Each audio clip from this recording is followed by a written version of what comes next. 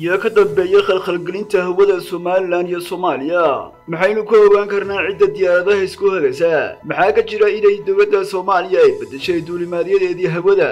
Warbixinteenan ayaan daawadayaal ku soo koobinaa ee marka hore soo dhowaada. Tan iyo markii muranka siyaasadeed ee dhinaca hawada uu soo kala dhex galay dowladaha somalilan iyo soomaaliya ayaa waxaa soo baxayey diyaarado amarra kala duwan la siinayo taasi oo labada dowladood ee somalilan iyo soomaaliya ay bixinayaan amaradaasi waxaana dowladda somalilan ay bilowday qorshaheega ay doonayso inay kula wareegto maamulkeega hawada oo markii hore gacanta ay ku haysay soomaaliya. Waxaana somalilan ay hirgelisay islamarkaasina ay istaadhay qalab casri ah oo u saamaxaya inay maamulkeega hawada ay si toosa u maamusho islamarkaasina dhammaanba diyaaradaha dul maraya hawadeeda. Ay amaradaas siin karto.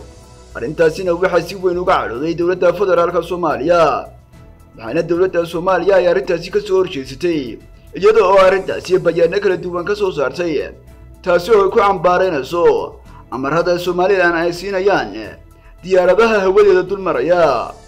Waxaana dowladda federaalka soomaaliya ay awood u yeelan kari waday inay somalilan ay ka damiso islamarkaasina qalabkaasi casriga ah ay hirgelisay somalilan ay ku dul maamusho soomaaliya somalilan markii ay hirgelisay qalabkaasi ay istaadhay waxay si toosa amarada ay u siisay.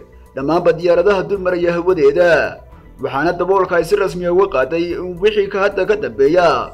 Ay somalilan amaradeeda iyagu ay bixinayaan diyaaradaha hawadooda dul maraya islamarkaasina loo hoggaansamo amarada ay bixinayaan. Hay'adda duulimaadyada somalilan dowladda soomaaliya oo iyaduna hadashay ayaa waxay sheegtay inay gebi ahaanba ka wareegtay waddadii hawada ay isticmaali jirtay. Laga bilaabo maantana ayaa hadda si toosa u isticmaali doonaan satellite-ka islamarkaasina ay somalilan si toosa ugala wareegi doonaan. Maamulkaasi dhinaca hawada ee somalilan ay la wareegtay. Maalmo kooban ayaa ka soo wareegay markii ay hawada sare isku geli gaadheen. Laba diyaaradood oo laga kala leeyahay dalka qatar iyo etoobiya kadib markii teerbilaalka muqdisho amaradaasi laga siiyey taasina ay sababtay in labada diyaaradood ee laga leeyahay etoobiya iyo qatar ay ku sigtaan inay isku dhici gaadhaan shirkadda diyaaradaha ee qatar airways oo iyaduna qoraal soo saartay ayaa waxay sheegtay in amarkaasi laga siiyey terminaalka magaalada muqdisho. Taasi oo ina sabab u ahayd haddiiba dhibaato ay dhici lahayd bay dhahdeen dowladda federaalka soomaaliya.